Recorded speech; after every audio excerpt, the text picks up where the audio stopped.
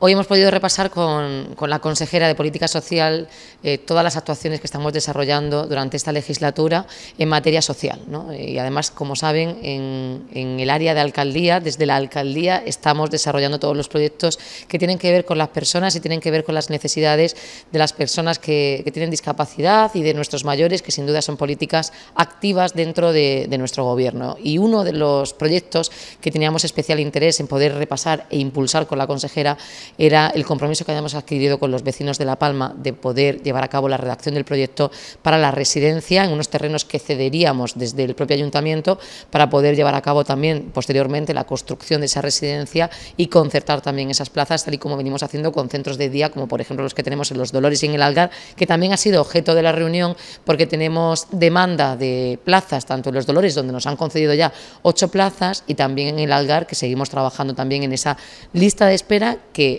si existe, tenemos que darle respuesta. ¿no? También hemos repasado diferentes proyectos de innovación en los que queremos, a los que queremos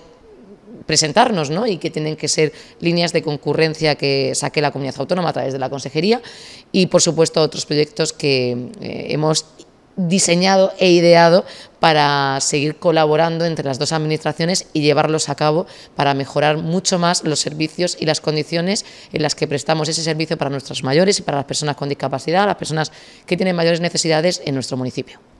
Bueno, pues hemos, eh, hemos venido a Cartagena a reunirnos con la alcaldesa y conocer las demandas y los proyectos de trabajo eh, sobre los que tenemos que ponernos en marcha. De hecho, bueno, pues el más inminente es eh, una subvención de 150.000 euros para licitar el proyecto de la residencia para personas mayores en La Palma.